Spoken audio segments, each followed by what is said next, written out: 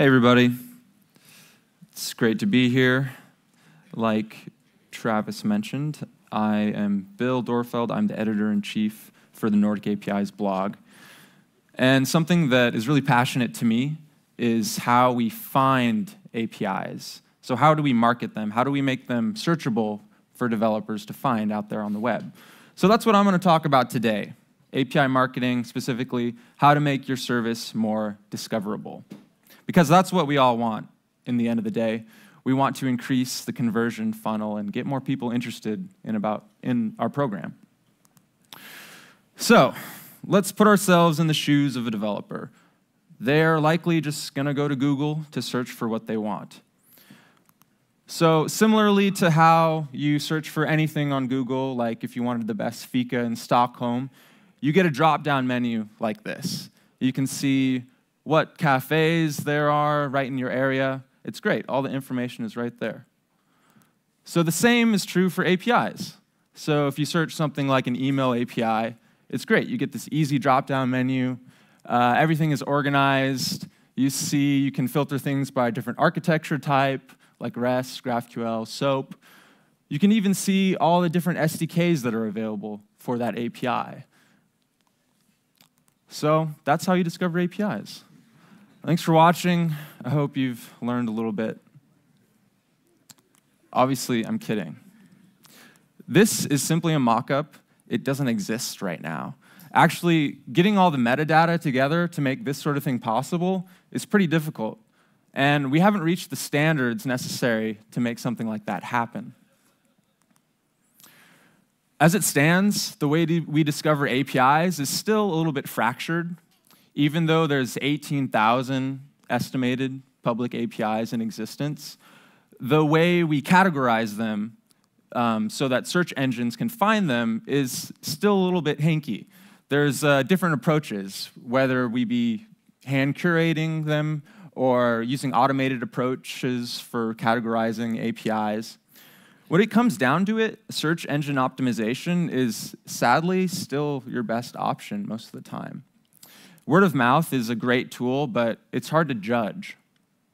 So I think this is going to become more and more of a pressing concern with the growth of the industry slated for the future. We're at 18,000 public APIs currently, but with open banking, with advances in artificial intelligence, and other sectors like travel, shopping, e commerce, I think we're going to see a lot more saturation of these really niche API groups. So, if you are offering a public service, how do you stand out amongst the competition? And how do you position your service for discovery? So, today I want to talk about strategies we can employ to make the API more marketable. So, it's my idea that we can use a three by three tier discovery approach using uh, increasing the visibility of the service, increasing the usability of the service, and having great advocacy that follows your API program. So for this talk, I'm going to assume a couple things. One, that you do have an API that you have released. Um, I'm mainly talking about public APIs, but some strategies here can apply to partner programs and private programs. Um, and I'm assuming that you do want more users because in the end, we want more money so we can celebrate. So first off, visibility. Uh, sadly, a lot of API providers undervalue um, search, en search engine optimization in the field of the API developer homepages. I think increasing the attention we give to the word count on these pages is actually really important right now. So you can do so with making more human readable descriptions that cater to non developer audiences. Um, I think you should go through a lot of research to develop a target keyword. So viewing these developer homepages from a more of a copywriting perspective can really help you optimize for different consumer types or even different geographical locations. Uh, something I've noticed lately are that microservices have begun to segment their public presences into very niche pages so that they can cater to different audiences, and I think that's a different approach as well. Using tools like Google AdWords keyword tool can be helpful for finding out uh, the performance of your target keywords and what your audience is searching for. So I did a little test. I looked up text analysis, uh, analysis API, and the top performer was Aylien. And they, what they did was they balanced the frequency with the keyword variance for all the content on the landing page of their API service. And they are the top performers on Google search results. So this is proof that landing page content does matter. Even though we're providing a very technical service, I think we need to offer a very marketable front end. Another way to do so, to improve the front uh, end of an API, is to use something like an open API definition. API definitions have been about uh, the industry for a while, including RAML, API Blueprint, RapidML, things like that. But lately, OpenAPI has really taken full stride. This can help in increasing uh, your front end through client libraries, software developer kits, um, generating beautiful documentation, and leading to a better, more discoverable API.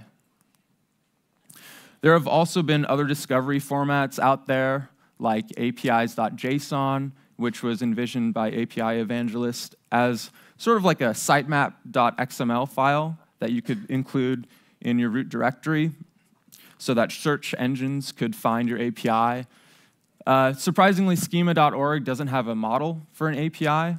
Something that I've been interested in lately is what apis.guru is doing. They're trying to uh, collate a sort of Wikipedia of APIs, essentially creating metadata for all the APIs in existence so that people can extend that, basically having a REST API to learn about more APIs. In fact, there have been so many approaches to how we organize and categorize these APIs that a lot of companies are creating these directories. Sure, they have their own marketing angles behind them, but they are exposing a lot of services to a wider audience. So I want to go through these briefly and encourage you all, if you have time, to profile your API with these sites. So programmable web is probably some service you've, you've heard. It's the largest directory of APIs out there. They have about 18,000 cat- uh, cataloged and it's all human generated. So the scalability of this is kind of in question. Rapid API is a more curated directory turning into a marketplace where APIs are compared against one another. APIs.guru, like I said earlier, is sort of a Wikipedia for APIs. Um, a lot of these directories, you can organize different APIs by industry and different service types. So discovering something that is really relevant to what the developer needs is becoming more easy. Things like a GitHub repo is helpful, or a hand curated searchable directory like API list. As you can see, there's been so many initiatives of people trying to figure out this issue of how we discover and profile all these API services. So my advice is to take advantage of that. Um, profile your API in these sites, and you can expand your reach into new networks. So, one is Hitch, Product Hunt is a good tool, API cataloging is a Swedish directory. Um, to take a picture of this, I also just posted this list to my Twitter, so you can visit that instead of writing it all down right now. So, next up, when we talk about API marketing, I think it's really important to talk about usability. So, that includes things like improving the API documentation, because really, that's your API, API's best tool for not only converting potential users, but for having a place of ongoing support. So, considering how we can beautify this with a nice three column layout, or if you do have an API definition, quickly generating uh, some great looking documentation is totally possible. There's about 30 documentation generation solutions that I've uh, researched and talked about on the blog. A great example of developer experience and easy usability is Stripe. Um, this is just a screenshot of their documentation, really nice layout. They have all the code samples in relevant languages for their potential developers. And this is all public facing, which some enterprises still shy away from, but I think that's very important. But docs aren't only part, that's only part of the, uh, the entire picture when we're talking about a developer center. It's my belief that there are seven main ingredients for marketing an API. So your developer center should have a great getting started guide, an easy authentication guide with step-by-step -step instruction, uh, clear API documentation, which I already mentioned. Something like a testing console or a playground is becoming more expected. Developers want easy access to the input output of your service. So having that available, I think, is really important. And then including developer resources, code samples, software developer kits, as well as easy support channels. So all this is founded upon a platform policy to protect you legally. So that's what I feel uh, it makes up a great, superb developer center. Next, these front-facing portals should cater more to non-developers because as the economy grows, we're getting a lot more business folks interested in a very technical solution. So that means people like higher up architects or designers, entrepreneurs, we need to cater um, our content to them as well. The industry best practices, this is what we're going to dig into in this conference. I'm very excited for all of you to learn more about this. Um, there are accepted practices that have become more or less expected among API providers. So following these, learning from these is going to really improve your program. When we talk about discoverability, sometimes that's confused with something called dynamic behavior, which is uh, closely linked with hypermedia. So that's uh, understanding how we can improve the exchange between the client and server. Um, yeah, just to specify, I'm, I'm, more talking about the marketing side of things, but considering this can greatly improve the usability and findability of your method calls and specific API data. So when we're thinking about how we build APIs, Roy Fielding said, the effort required to design something is inversely proportional to the simplicity of the result. And I think API marketing needs to use that same tenant. So we're doing all this work, and the end product needs to be usable and easy for your developers to consume. Lastly, advocacy is a huge part of how developers end up discovering APIs. Last year, we interviewed some top evangelists around the economy and we codified some main tenets that they use in their day to day jobs. Um, I can just go through a little bit here. Understanding the user base, becoming very familiar with that customer, communicating the value of the product in a very succinct way. Um, always be observing, gathering feedback is important for iterating a program, as well as building um, uh, and maintaining a knowledge center online. I think that's really important. Um, something that they do often are focusing on customer relations, events, and support. So if you're evangelizing any API program, take consideration of these tenants. Um, something that Liz Rush, then evangelist at Algorithmia, a Seattle startup, told me was that the primary role of a developer evangelist is to help customers and potential users see the value and benefit in your API to the extent that they themselves become, become evangelists for your company. So that's the end goal. You want to really coddle that initial group so that they will uh, talk about it to all their friends. So that's really important.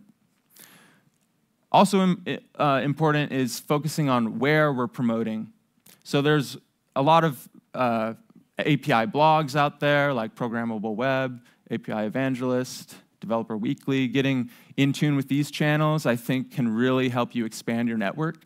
as well as social channels like Product Hunt um, or Stack Overflow can really make or break uh, how successful your program is in terms of marketing.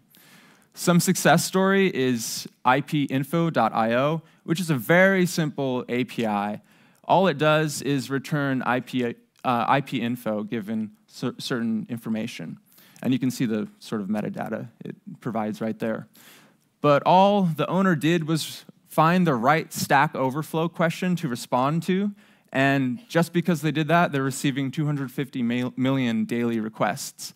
Uh, so at $0 budget, it's the easiest marketing ever. Uh, that kind of random success doesn't happen easily. It's pretty rare. Normally, um, providers are really fostering a community of developers. So that's what uh, I definitely advise. Decreasing that one support, having all your resources available in, in terms of a forum or knowledge base so that you're not wasting money on one-to-one -one support, but offering it if need be.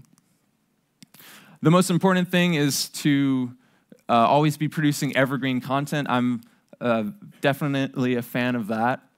So creating things that are credible and readable that your audiences will enjoy and share with other people. Uh, I think the industry really has embraced a vendor neutral approach to talking about technology. And so using that in your own marketing and the content that you generate, I think is really important. In the end, you want to own the conversation around your API. And this is something Kin Lane said recently. Either you own the conversation around your APIs or someone else will. And that's true for any public app that might not have a public API presence.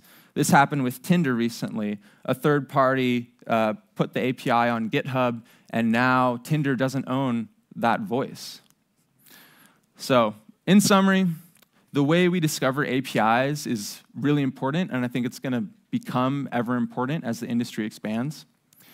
Um, if you do want to make your service more discoverable, if you're ready to promote it, I advise you to create an API definition, think about different API discovery formats, and uh, I think we're going to see more evolution outside of REST and into GraphQL and how GraphQL uh, will help discover and link APIs, so keep in mind about that.